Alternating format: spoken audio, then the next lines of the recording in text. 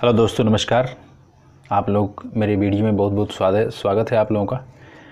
आप लोग कमेंट कर रहे थे काफ़ी कल एक मैंने वीडियो डाला था कि गुटखा के बारे में डाला था कि आप घर पे बनाइए और खाइए जो मतलब बेधड़क निःशुल्क और मतलब बिना नुकसान का जो कल मैं गुटखा बना के दिया था। लेकिन आज काफ़ी लोगों का प्यार मिला उस वीडियो में मुझे।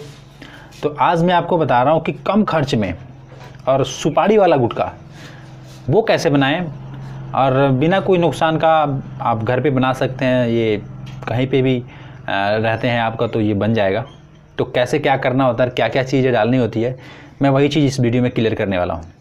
तो ये जैसा कि आप देख रहे हैं, देखिए, आप देख रहे हैं, ये है सुपारी। सुपारी वही जो सुपारी होती है जो लोग खाते हैं, वो सुपारी है और ये जो पान के पत्ते होते हैं, ये पान का पत्ता है। आप देख सकते हैं ये पान का पत्ता है, पका हुआ पान का पत्ता है। ठीक है? और इसमें कुछ मिलाया गया नहीं है, इसमें कोई जर्दा वर्दा नहीं है। ये मीठा पान जैसे होता है, ये मीठा पान। ये उसी का जो बुरादा वगैरह, गड़ी का और सौंफ वगैरह वही है। ठीक है? आप इसको बड़े आराम से देख सकते हैं। तो करना क्या है, आपको बस पाँच दस रुपये का सुपारी ख़रीद लीजिए। और उसमें आपको मीठा पान कर खाते हैं तो मीठा पान का सामान आपको पता होगा कि मसाला जो आता है, वो आप उसमें डाल सकते हैं गड़ी का बुरादा या फिर सौंफ वगैरह, ठीक है? अगर जर्दा खाते हैं तो जर्दा। तो घर पे आप बना के खाएँगे। जैसे कि इस तरीके से आप बना के खाएँगे तो ये सुपारी मैं आपको बता देता हूँ कि तीस रुपये में मिल जाएगा आपको करीब करीब पचास ग्राम। ठीक है, अभी महँगा हो गया इसलिए। तीस रुपये में पचास ग्राम मिल जाएगा ऐसी सुपारी। तो उसको काट करके आराम से इसमें मिला मिला करके खाइए। ये मैं आ, शरीर को नुकसान ही करता है मतलब मैं आपको बता दूँ लेकिन खाने वाले लोग तो खाएँगे ही मानेंगे नहीं। तो अब मैं आपको चलिए वहाँ पे लेके चलता हूँ फिर बताता हूँ कैसे क्या करना होता है।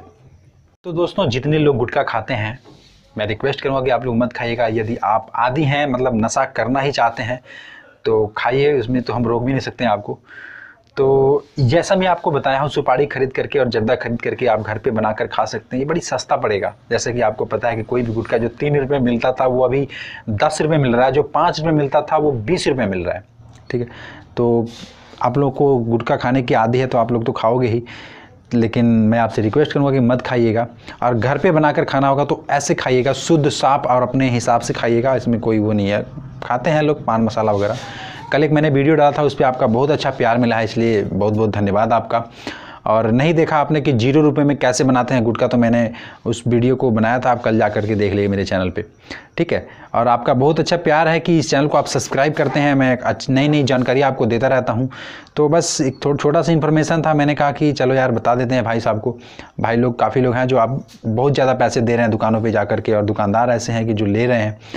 तो उसके, उससे बचने के लिए मैंने एक तरकीब निकाला था तो इस वीडियो को आप देख करके समझ गए होंगे कि क्या क्या चीज़ मैंने इसमें डाला है।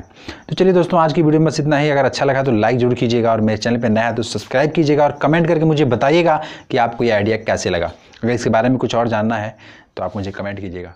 Thank you